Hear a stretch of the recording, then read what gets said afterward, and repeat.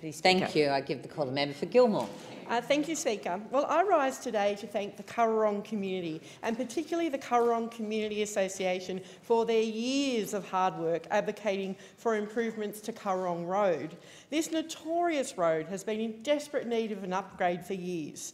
The Currarong community has simply seen too many tragic accidents, too much heartache along this stretch of road.